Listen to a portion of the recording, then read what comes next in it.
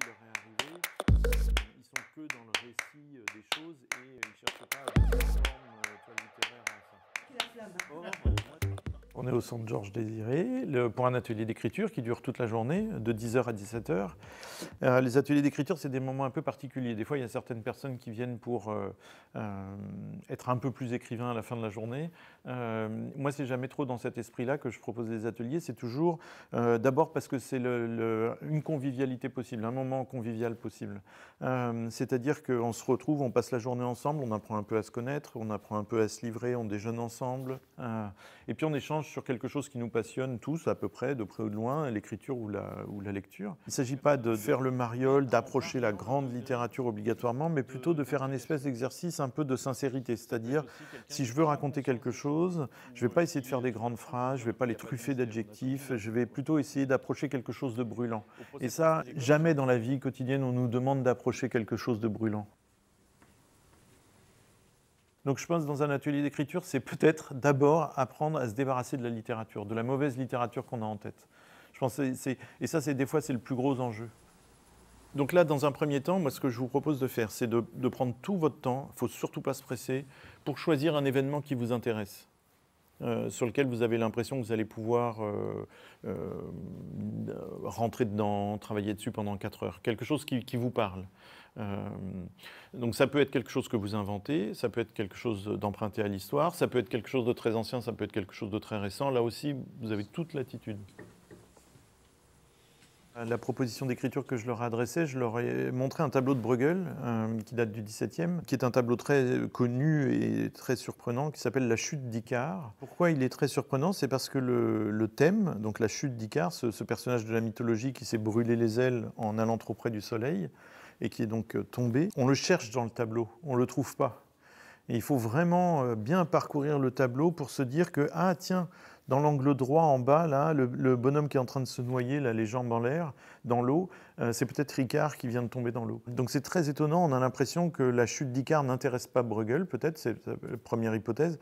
Puis en fait, on se dit non, il y a autre chose. C'est plutôt que l'ensemble de la vie continue de se faire, alors que Icare vient de vivre cette chose complètement folle. Des fois, quand il, arrive, quand il y a un événement très important, même d'en- d'envergure mondiale, ben, il y a des gens, ça change strictement rien à leur vie. C'est-à-dire que ça, ça perturbe rien, on ne, ça perturbe rien leur façon de regarder le monde, dans leurs sentiments, leur présence euh, euh, vis-à-vis des autres. euh, et puis il y a d'autres personnes qui, au contraire, se mettent à trembler de, de toutes parts, le, le- qui savent plus se comporter de manière normale avec les gens dans la rue. Des fois, il y a une, une- une extrême sensibilité aux événements parce que dès qu'il se passe quelque chose, on en entend parler 30 fois dans la journée, c'est-à-dire sur BFM tout le temps, dès qu'on allume la radio, dès qu'on prend notre téléphone, dès qu'on allume notre ordi. Bref, on revoit 30 fois l'annonce de l'événement, de tel attentat, de tel tsunami, etc. Et je pense que des fois, la, littérature, c'est très riche pour ça, c'est de montrer une sorte de camailleux de possibilités, de dire voilà, tout ça c'est possible, depuis l'indifférence complète, l'ignorance totale, jusqu'à euh, euh, une trop grande sensibilité à ce qui s'est passé.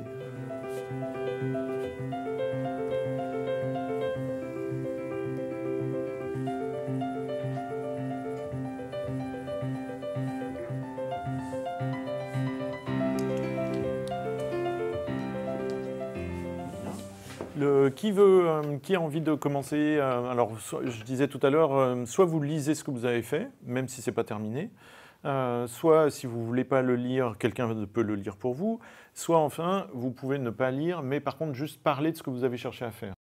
Donc ça s'est passé en septembre 2017, il faisait beau, il faisait chaud, c'est en soirée. Il y a les enfants qui jouaient dans l'air de jeu, et parmi les enfants, il y a ma petite fille, et qui, à un moment donné, a senti une odeur de, de brûlé, de, de fumée. Donc en fait, il y avait des caves qui prenaient... Enfin, il y avait des fumées qui sortaient des caves, mais il n'y avait pas de flammes. Ah bon, bah, je, je lis euh, pour, euh, D'accord. pour Annie. Donc, seule parmi la foule dans ce monde si cruel et indifférent, personne ne la voit dans la rue. Personne ne la remarque dans les transports, toujours obligé de se mettre dans un petit trou, espace pour ne pas se faire piétiner. Espacé pour ne pas se faire piétiner. La chute d'Icare, là, ça m'a interpellé euh, par rapport au jour du 26 septembre 2019. 26 septembre 2019, donc euh, Lubrizol a brûlé. Ce jour-là, Jacques Chirac est mort. Et on a, j'ai eu l'impression que, eh ben, on a complètement euh, squeezé le Lubrizol. On s'est pas intéressé à l'essentiel. On a plutôt caché euh, l'aspect parce que ça devait gêner quand même certaines personnes.